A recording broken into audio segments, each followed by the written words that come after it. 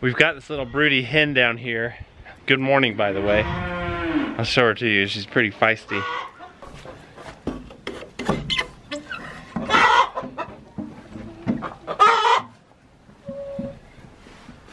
What are you making us think about? Did you lay an egg?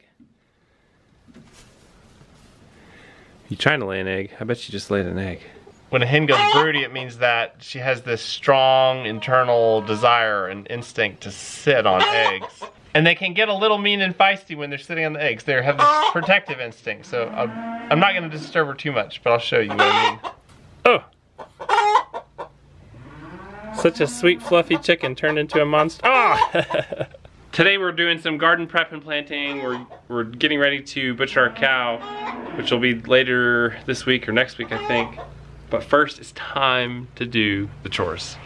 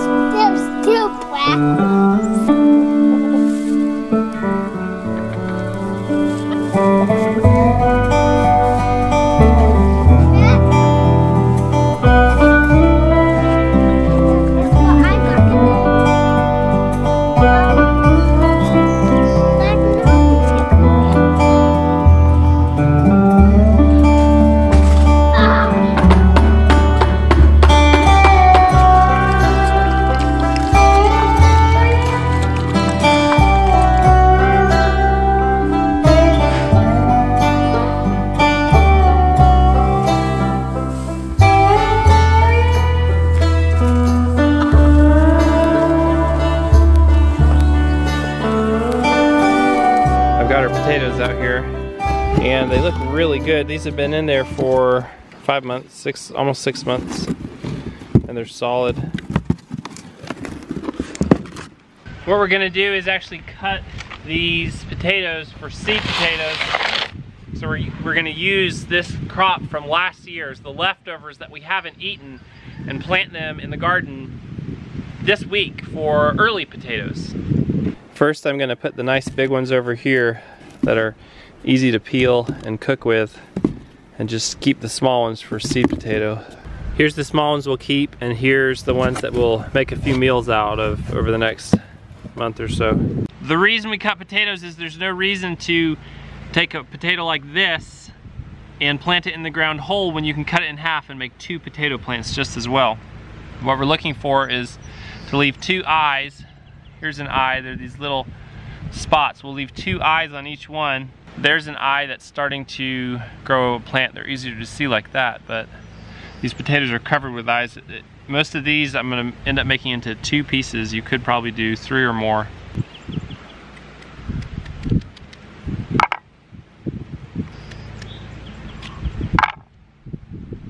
Beautiful potatoes.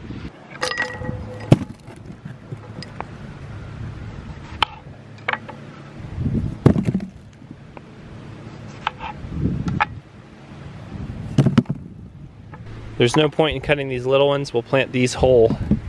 You could probably cut them. Now these will go into the house for easy eating access. Those will go in the pantry here, right next to a bunch of winter squash. And then our seed potato will go inside to heal over into the back room on a cotton utility cloth here.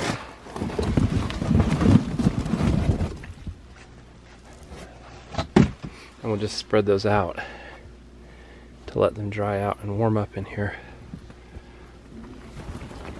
We're doing two things in here. We're letting the potatoes heal. These cut sides are more vulnerable to rotting when they're wet like this. If you let them form a little skin, they're less likely to rot. You can do that in any non-freezing environment, but I like to bring them inside because um, warming them up for a couple days can start encouraging them to sprout and you can get faster growing plants and a little earlier crop. Now we're gonna go get some onions. I get to go. I thought I was about to do school, but Arthur's gonna do school. And I am going to get onions and some snow peas and maybe some broccoli and cabbage. We'll see.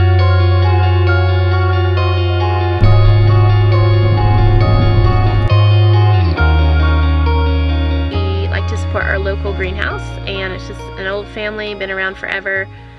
And so that's where we get a lot of our starts.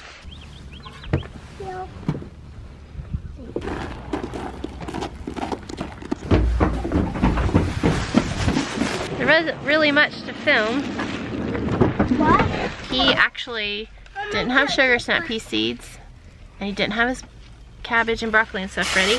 So I only got onions, but he surprised me because he had elderberry cuttings. So I got six of those and I probably should have gotten 12. I just got these little guys and I'll go home and stick them back. Look, I'll stick them back in the water and we'll get them going here in a couple weeks.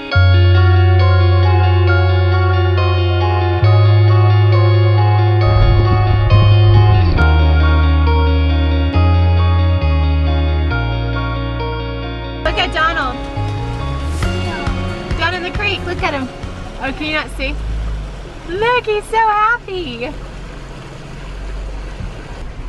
y'all have fun? that was fun to come home to right there. Even though the greenhouse didn't really have much today. We can still plant some onions and you know, honestly, that's probably all we have time to do anyway. Did you see Donald and the ducks playing down in the creek? Yeah. Was he something fun? Yeah. What? Did Dad do school with you? Uh-huh. Are you done? Uh-huh. You're free to go. Are you gonna play onions with us? Uh, I guess so. Okay. And I'm also gonna play the creek. So you're gonna stick it in the ground like this and leave the top up. I don't want to do that. Just like that.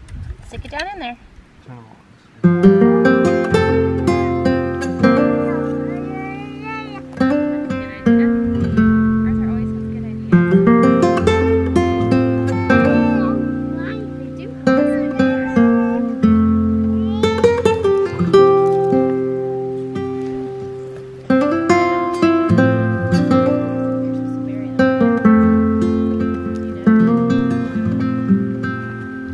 Just don't want to be in there anymore, huh?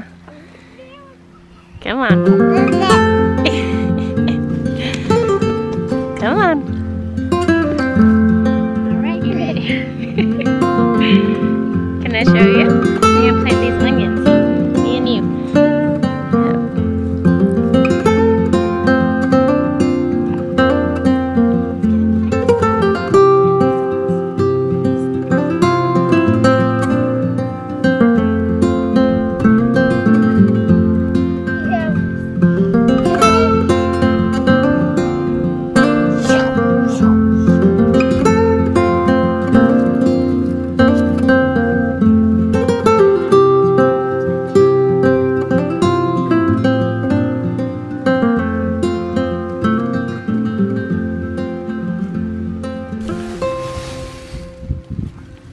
I'm just gonna plant some bunching onions or green onions.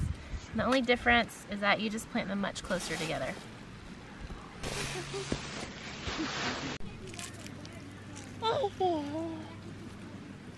It's a rock.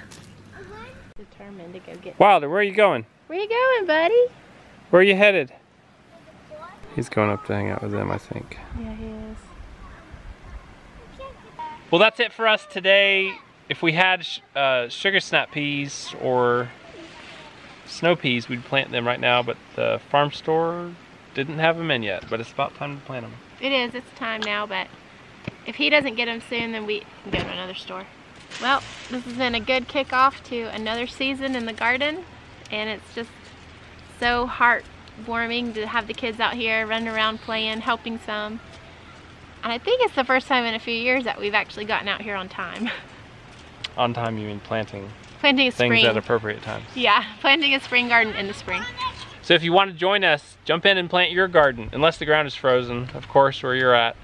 Or you're under a foot or two of snow. Well, folks, it's been another great day in the homestead. See you soon. Bye-bye. See you in the next video.